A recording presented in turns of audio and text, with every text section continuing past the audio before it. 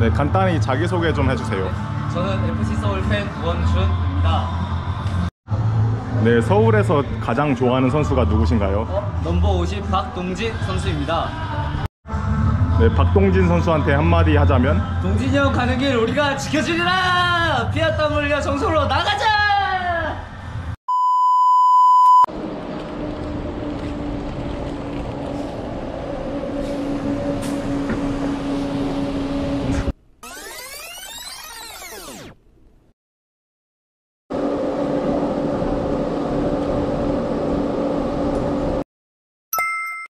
선수 사인 좀 부탁드립니다.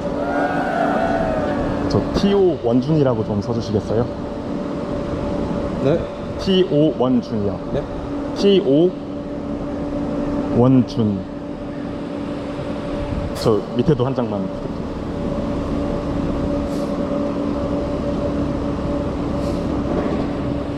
피와 땀 흘려서 정상까지 가주세요. 감사합니다. 네, 감사합니다. 감사합니다.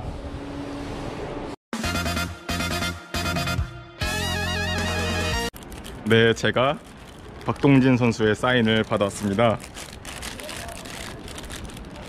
아, 우와! 아유, 감사합니다. 오! 오! 오, 씨, 감사합니다.